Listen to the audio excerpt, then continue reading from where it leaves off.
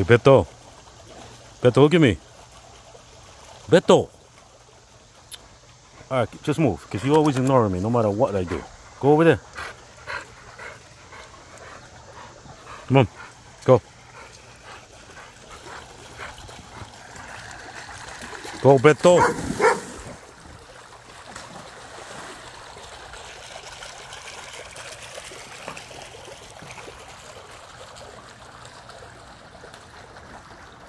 Where'd he go, Beto?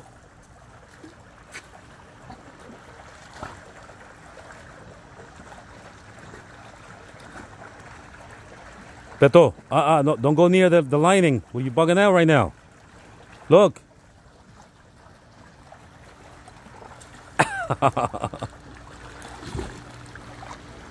right now, you're acting like a shark, man. Like, literally.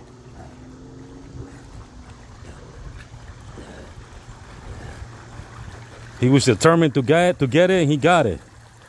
Good job, Beto.